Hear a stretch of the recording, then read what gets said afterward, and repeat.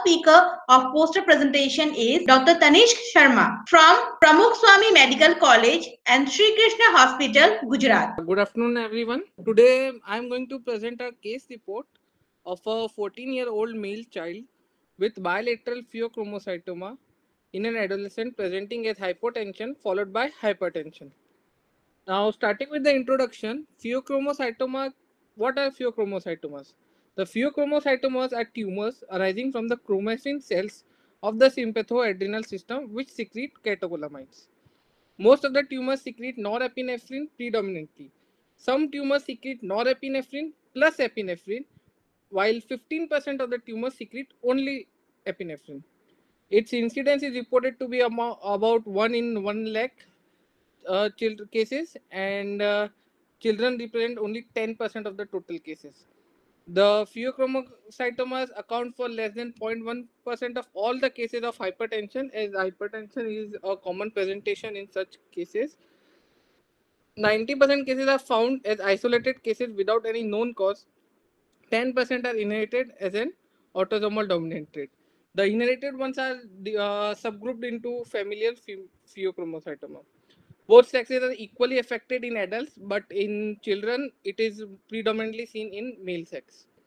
Now, moving towards the case, we report, I sorry, I report a case of a 14 year old male with no previous medical history who came to emergency care with complaints of yellowish discoloration of the skin and constipation since five days, cough since one day, associated with drowsy but arousable neurological state.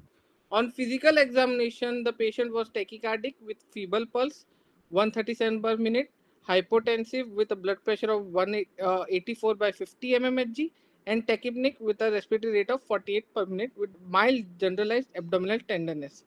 The patient uh, was put on vasopressors and uh, ventilatory support was required.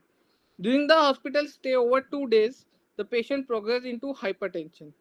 The ECG was taken and there was a, sinus tachycardia and T wave inversion.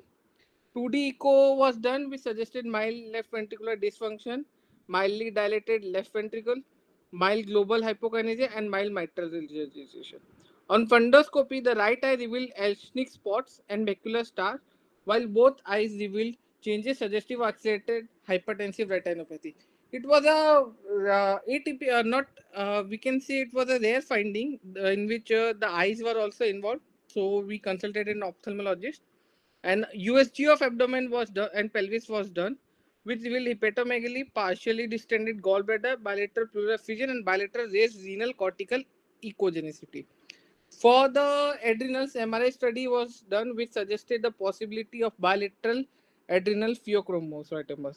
On PET scan for confirmation, high-grade metabolically active heterogeneously enhancing malignant lesions were seen in the both the adrenals, along with uh, there were no evidence of metabolically active locoregional lymph node or systemic distant metastasis were noted. Patient was started on prazosin and uh, nifedipine and metoprolol preoperatively for two weeks, and after two weeks, patient was operated with bilateral laparoscopic cortical sparing adrenalectomy. Uh, the histopath of the specimen showed left-sided malignant and right-sided benign pheo.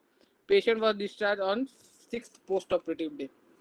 Now, uh, radiological uh, on the here we can sorry, it's the intra photo. First figure is the intra figure of the adrenals. Second photo is the specimen which we sent for the histopath. Uh, discussion. Mean age at presentation was found to be 13.2 years and 10.7 years by two scientists, Aaron et al. and Sifty et al. Our patient also presented at 14 years of age. Bilaterality is a common finding in children, while in adults, unilateral pheos are more common. Hypertension is the single most common presentation in children, with most of them experiencing sustained hypertension and some experiencing the paroxysmal paroxysms of hypertension and hypotension. Our patient presented with hypotension, tachypnea, constipation, and jaundice.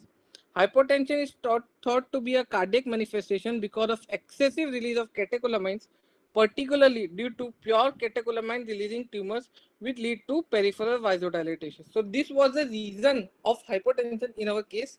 Most of the cases, though present with hypertension, some may present with hypotension also. Patient can even present in shock due to this mechanism and later on fluctuate between hypertension and hypotension.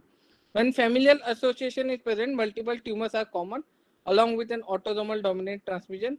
A patient gave a negative family history. An assay of catecholamines in plasma and metanephrine in plasma and urine was also done. They were on the higher level.